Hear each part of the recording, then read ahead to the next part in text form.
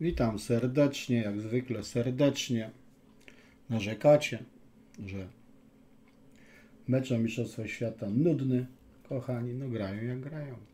Poziom wysoki, to tak jak w zapasach nie robią chwytu, tylko się przepychają, czy w judo. Moim ulubionym posunięciem jest pion królewski o dwa pola. Pion królewski o dwa pola i go zawsze robię, kiedy tylko mogę. No, lubię konisia wprowadzić. Korusia, koniś idzie z czarnego na białe w kierunku centrum. I tu nie boimy się obrony dwóch skoczków. No. I to jeszcze raz podkreślam. W szachy trzeba grać pryncypialnie. Kto gra mdłe, leniwe, boczne szachy, ten gra kiepsko. No nie boimy się po prostu ruchu. Koniś G5. No, mamy przygotowane parę pomysłów jak D5, i to mamy te znowu parę sztuk i tak dalej. Omówiłem to, można zobaczyć w dziale teoria debiutów. Przeciwnik mięciutko, D3. No, mięciutko to mięciutko.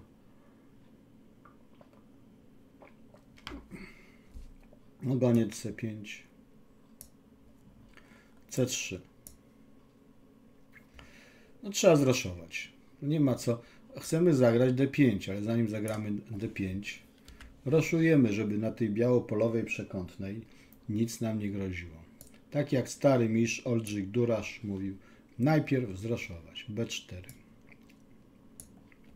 To takie w lekkim stylu gambitu kapitana Evansa. Łaski nie robimy. Ofiarujemy piona, bo teraz po B5 możemy ofiarować piona. Z tym, że to takie jest, no, ja bym tego piona nie brał osobiście. B5 i niebroniony jest, bo tutaj, ale tu jest tyle tych możliwości. Więc biały gra o takie. Chce po prostu gońca złapać. Ma do tego prawo, ale czarne zroszowały. Mają rozwinięte trzy figury. Białe nie zroszowały. Póki co podrywają tego piona. Nie A6, jak Kowalow partii z Jobawo, Badurem, Badurem, Jobawą. No 7 lat temu to już.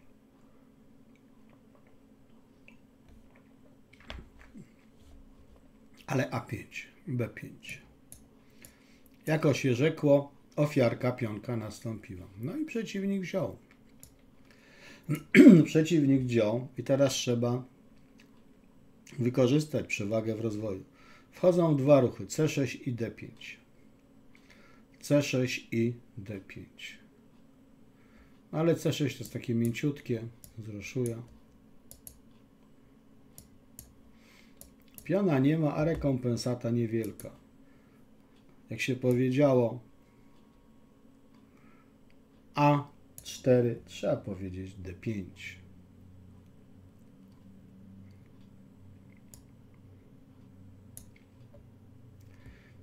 I teraz, choćbyście zjedli tysiąc kotletów, nie zastanowicie się, jak tu zagrać.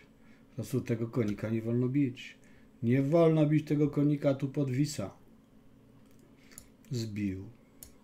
No i co teraz? No i teraz patrzymy na linię E.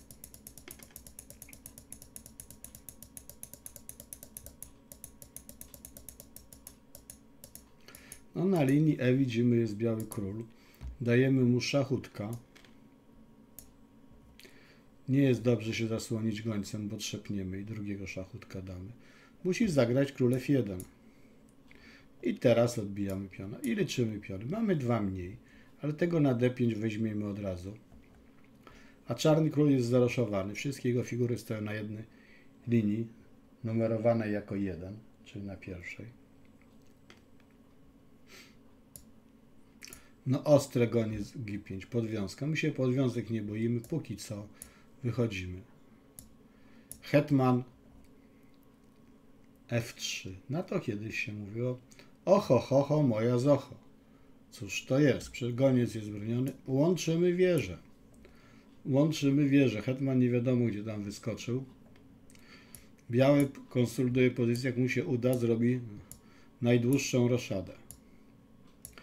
Nie wolno na to pozwolić. W tym celu napadamy na hetmana. Kiedy napadliśmy na hetmana, nie będzie robił roszady, bo mu zbijemy hetmana.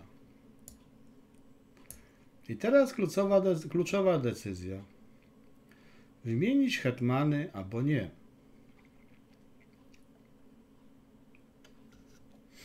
No wymieniamy.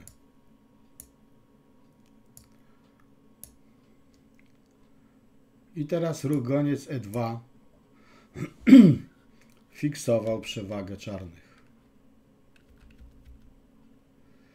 Nastąpiło niestety mięciutkie wieża E7 w celu zdwojenia wież. I czarny odetchnął. Tu ma pionka, widzimy, że to jest pionek, ale ma barierę pionkową na białych polach i trudno się przez nią przetrzeć. No, ta zniewaga krwi wymaga.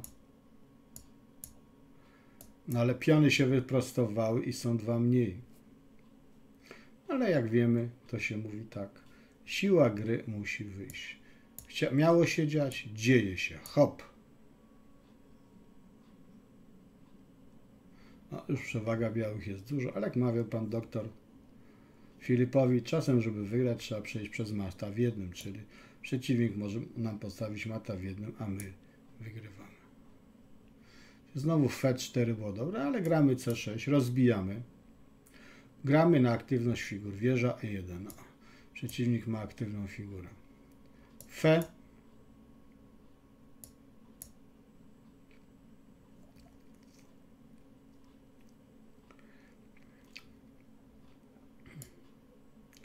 I tu wieża F8. Gdyby przeciwnik teraz zbił na C6, miałby szansę, ale zbił na G6. To nie nasza wina, że on zbił na G6. Dajemy szachutka. Jeszcze jednego. Teraz jakbyśmy wyszli królem, to byłoby nieźle. Na szczęście, na szczęście dla białych dwa gońce trzymają nam króla. CB5 A4, jak kiedy nie wzięliśmy tego piona, przeciwnik się poddał. Uczynił słusznie i zacnie. Dalej ma dwa piony więcej, no ale widzimy, że pion idzie. Ruch ten broniący pionów nie pomaga, bo goniec idzie, a wielką przekonną pion idzie, idzie, idzie i idzie. Ciekaw jestem opinii. Jak się partia podobała. Jak się nie podoba, można dać znak równości.